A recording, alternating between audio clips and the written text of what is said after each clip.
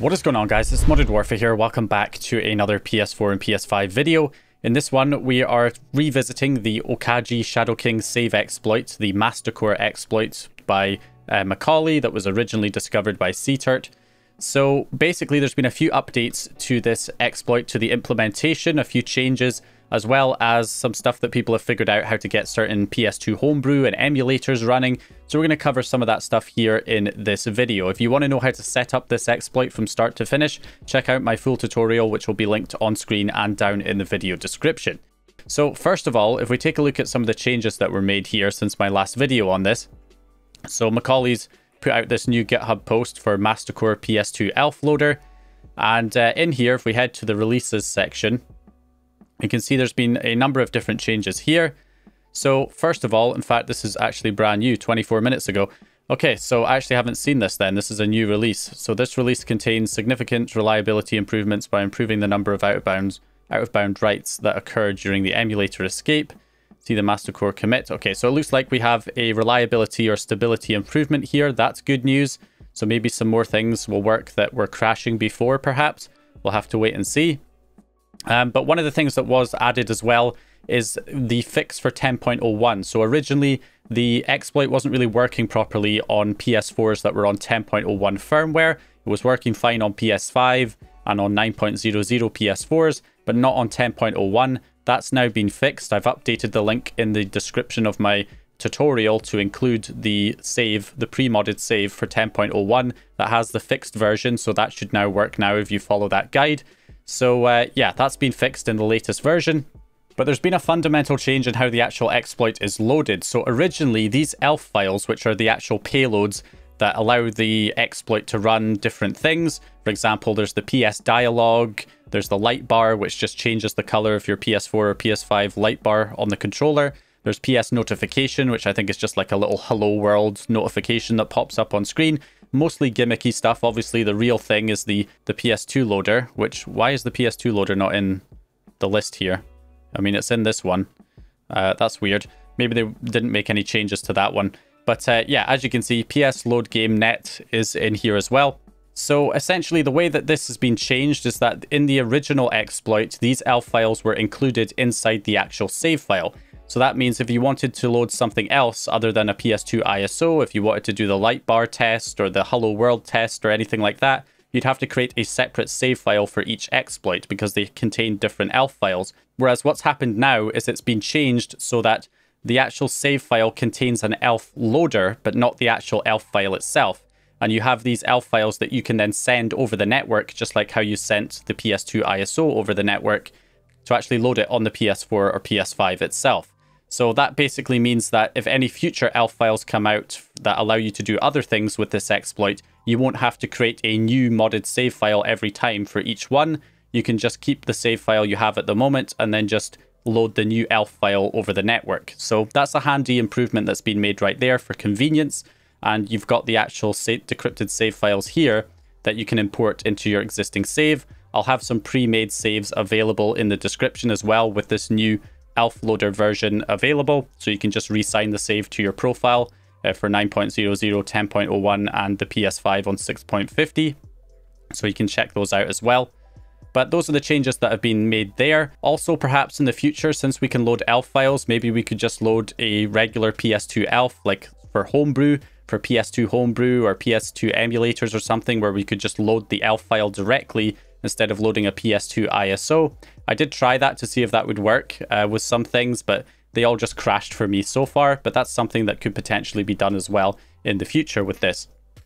So in addition to that, we also have the release of the Mastercore file loader.exe, and there's also some Python scripts. So this just makes it more convenient for loading the files over the network.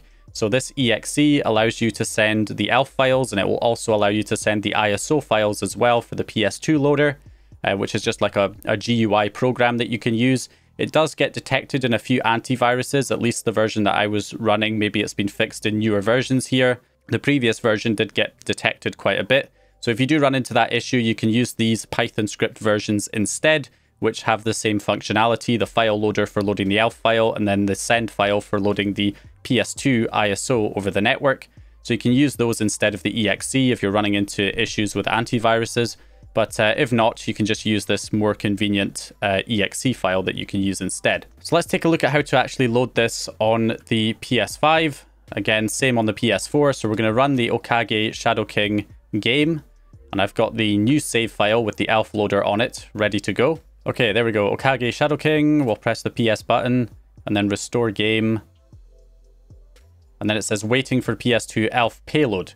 So at this point, if we switch back over here, we're going to run the exe, the MasterCore file loader. We're going to load this and we're going to enter the PS5's IP address or PS4's IP address in this box down here and then select the file that you want to load. And in my case, that's going to be the PS load game net PS5 6.50 ELF. We're going to go ahead and click load. And when I do that, you can see it comes up saying PS5 uh, loader network and waiting for game file, which is the same as the previous version where it would say waiting for connection. We're basically at that same stage now. So if we switch back over here, we can just select the ISO file to load. So I've got a, a Sega Genesis emulator for the PS2 as a PS2 ISO. We'll go ahead and load that. So we'll hit load and there you go. You can see it loads up there. So you can see it says no games found on CD. I'll show you guys how you can add games to emulators and stuff as well in just a bit as well as kind of, you know, how to create your own PS2 ISOs if you want to mess around with some PS2 homebrew and try and get stuff like that running. Um, so there's been a few emulators that have been released. There's one that's about four emulators in one. They don't all work, but, you know, there's SNES Station or SNES Station. That's been working. I tested that out on um, Super Mario Kart. That worked just fine. No issues there, as you can see. I also tried uh, Super Mario 64, which surprisingly ran pretty well as well there on the PS5. So no issues there either. Uh, there were some emulators that weren't able to run. Um, I think the NES emulator didn't run and a couple of other ones. And then obviously there's this PGen, this uh, Genesis emulator that runs as well. Now you can obviously find PS2 ISOs with emulators on them that also contain a huge list of games already included. Obviously, I can't link to any of that stuff here in this video for obvious reasons. And they are quite big to the point where they're multiple gigabytes and it can take a long time to actually send the ISO over the network. So in my opinion, it's probably better to just download a version of the emulator that doesn't have any games with it. And then you can just add only the games that you want to play. That way it'll transfer over a lot quicker.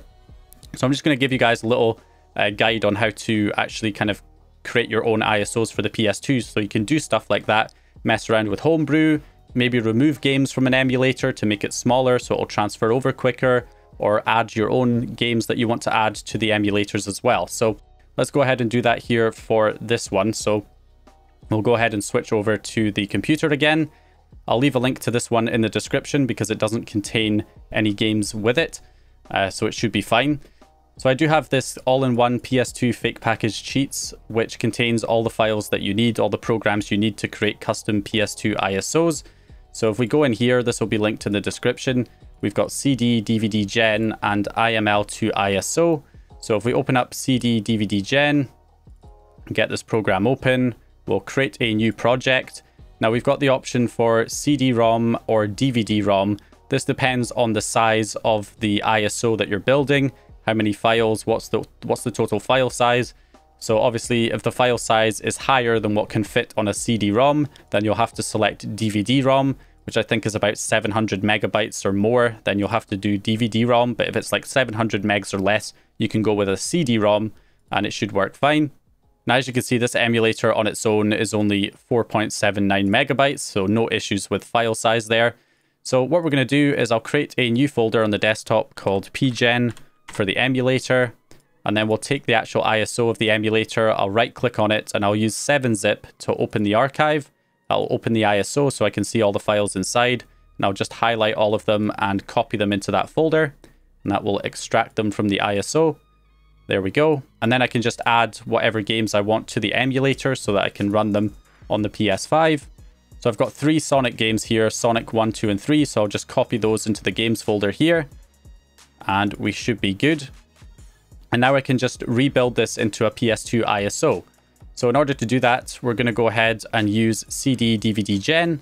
So we basically take all the files here and we drag and drop them inside.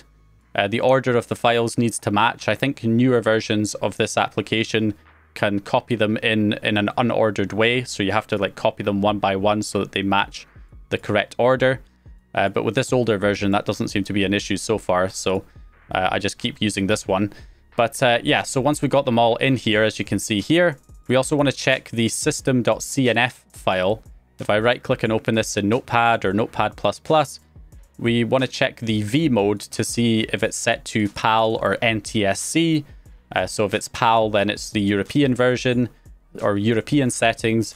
And if it's, uh, you know, NTSC, then it's uh, US settings that we'll need to apply here in CD DVD Gen. So because it's PAL, I'll go into volume and I'll change the license area to Europe. And obviously if it's NTSC, you would set it to America.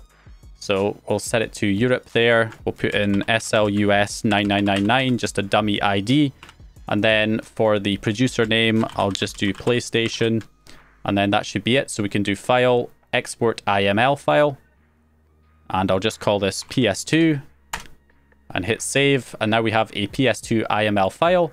And then from here, we can then go ahead and build the ISO by heading back into this all-in-one fake package cheats and we'll go to IML to ISO. We'll run this application and then we'll go to open and we'll open the IML file, click open and then click on IML to ISO and that will convert it to an ISO file right there. There we go. We've got PS2 ISO. So now all we have to do is go ahead and load this up again. So once again, I'll select my PS2 load game for the PS5, switch back over here, and we'll go ahead and close out of this one now. Close game, load it back up again and load the save up again. Okay, here we go. Press start button, restore game. And of course we get, oh, oh, interesting. Okay. I actually crashed on the, uh, that's not happened to me before. I guess that's the stability thing. Perhaps I should have used the the new one that was just released 24 minutes ago and I won't have that. I may not have had that uh, crash. But uh, yeah, anyway, let's try this again. Uh, okay, so press start button, restore game. There we go, waiting for PS2 ELF payload. All right, so once again, I'll click load. And then we get waiting for game disk or game file. So once again, we'll select it, but this time we'll select our custom one we made, ps2.iso. We'll hit load, head to the console here. Takes a bit longer to send it over because we have a few ROMs on there. And here we go, Genesis emulator for PS2. But this time it doesn't say that we don't have any games available, so this time we should be good.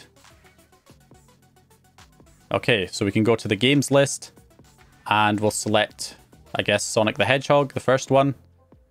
And you can see there's some bugs here with the graphics. This is common in quite a few of these emulators at the moment. Uh, we still need a way to, you know, customize the PS2 emulator settings with the emulator file that was mentioned in the improvements for this um, exploit. Uh, we don't really have that at the moment, so we are still going to run into a lot of these kind of graphical bugs. However, the good thing is that it actually runs, and a lot of emulators actually don't have uh, that many issues, or they may have issues for the UI, but the actual gameplay is actually fine. There don't doesn't appear to be that many issues here. It's mostly just flickering with the score and the um, the lives and stuff like that in the bottom left hand corner that are glitching out a little bit. But apart from that, as you can see, the game is running just fine here. There probably is a fair amount of input lag, it feels like, maybe a, a decent chunk, because of course we're talking about a Genesis or Master System game that's running inside an emulator for the PS2, which is running inside an emulator for the PS4, which is running inside of the PS5. Uh, so there's multiple layers going on here, uh, which is uh, still pretty neat. So there's also the U-Launch menu that's been working for some other emulators. There's a 4-in-1 emulator going around, which contains, you know, multiple ELF files for multiple emulators that you can launch. And when you launch the actual emulator itself, when you launch the ISO, it will put you into the launch menu or U-Launch menu, which basically you just go into CDFS folder, and then that gives you all the folders that are inside the ISO, and then you just find one of the ELF files to run and select one of those files, and it will launch you into the emulator. Again, not all the emulators work in that 4-in-1 uh, ISO. However, a few of them do, like SNES Station and the like Mario 64, Super Mario 64. Uh, those work. Uh, but obviously, again, I can't provide a link to that particular ISO because it contains games already included. But uh, yeah, it's still pretty awesome. You can run emulators for a variety of different games, you know, that were designed for the PS2 to be to run inside the PS2 that you can then run with the the PS2 emulator on the PS4 and PS5 uh, with this method, as you can see right here, uh, which is right here. In fact, there's even a new video clip that was captured from from me in the U launch menu or the Launch Elf menu, as you can see right here, captured on my PS5. But uh, yeah, anyway, so definitely some interesting things for the Mastercore exploit. And of course, if more ELF files come out in future, uh, it should be easier to load them now that we've got this change in how the actual exploit runs. Now that it just runs the ELF loader and we can just send the ELF files over the network. Any new ELF file comes out for something interesting, we can just load it with the existing save that we already have included. And yeah, improvements seem to be coming out pretty quick and fast here.